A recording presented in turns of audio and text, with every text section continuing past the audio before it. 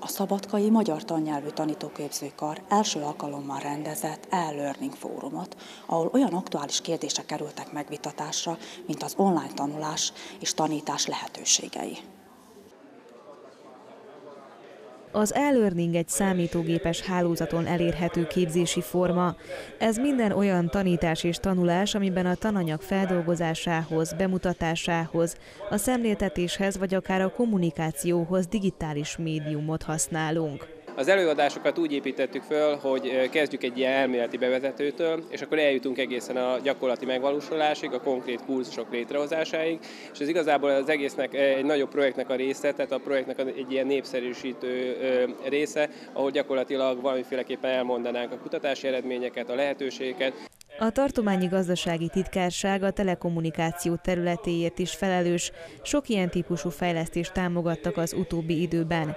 Civil szervezetek számára is elérhetők ezek a pályázatok. Egyrésztről a tudás megszerzésének egy új formáját teszi elérhetővé, másrészt pedig azt a törekvést valósítja meg, miszerint a független attól, hogy az ember hol tartózkodik. Itt a 21. században az internetvilágának köszönhetően ugyanazok a lehetőségek legyenek elérhetőek kis településen, mint a nagyvárosban. Esztelecki Péter, az Entai Bójai Tehetséggondozó Gimnázium tanára a videók és az oktatás viszonyát mutatta be.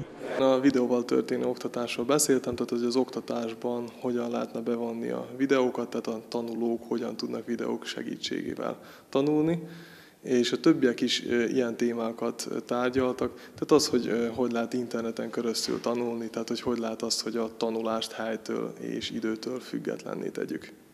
A szabadkai MTTK-n az e-learninget népszerűsítették, hiszen az internetnek köszönhetően ingyen tudást is szerezhetünk. A rendezvényen pedagógusok és leendő tanárok, valamint más területen dolgozók is részt vettek.